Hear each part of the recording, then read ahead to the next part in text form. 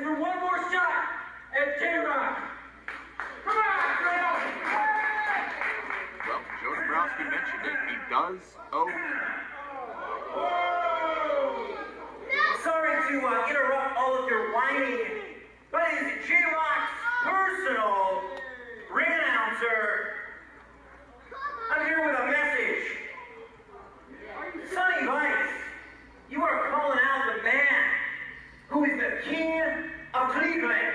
I'm calling out the biggest coward of Cleveland. You This guy's up. He's are the biggest calling. I'm talking. You Nobody cares. are calling out the big daddy of destruction.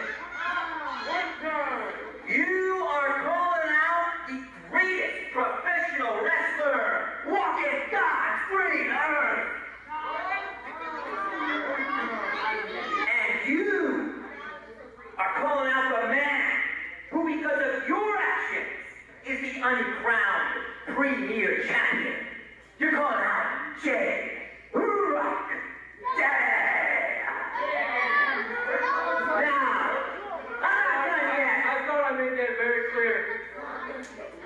For 20 years, for two decades, J-Rocc has been wrestling around the world, setting the standard.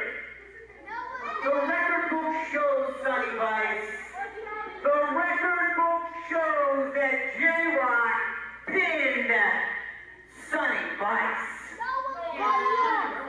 So you want an answer? I'll give you an answer. J-Rocc has got nothing to prove to any of you. J-Rocc has got nothing to prove to Premier Championship Wrestling, the very company that screwed him over.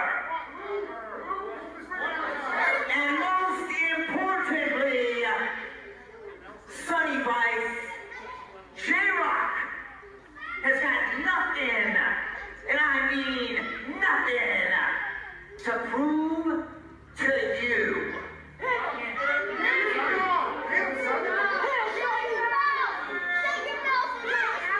I guess that's that. Big. Whoa, whoa, whoa, whoa, whoa, whoa, wait a second, wait a second, wait a second, wait a second. Oh, thank you guys so much. Hold on, hold on. Let me set this straight. I, I know we discussed this in this ring a month ago. J-Rocc quit the company. He was absolved of his obligations as a talent.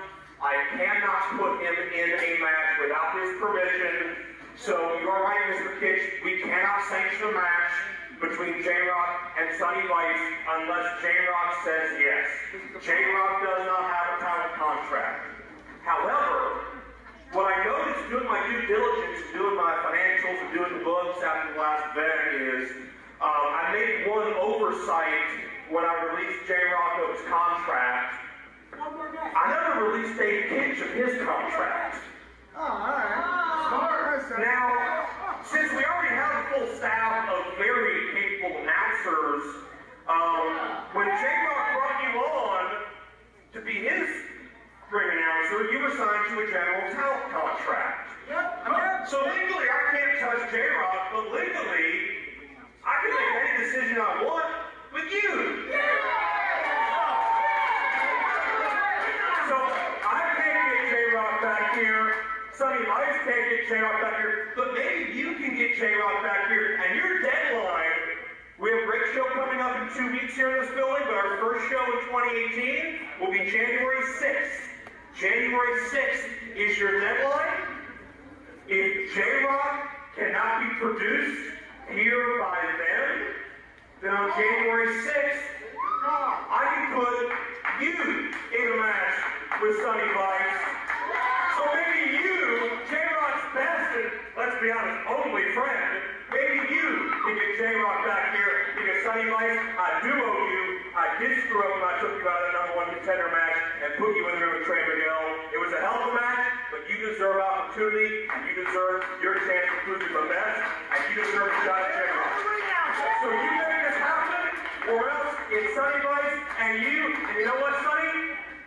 Since he's got a talent contract and you got a talent contract too, you can do whatever the hell this is an abuse of power. Oh, come on! This is a blatant abuse of power by Joe Dombrowski. He's lucky he's not up here right now because I'd have some talking to say.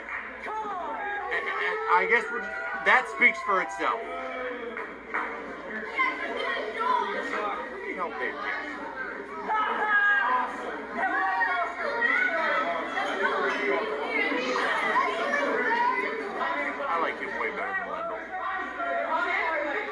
speaking of, there's Giggles McGee. Finds it funny.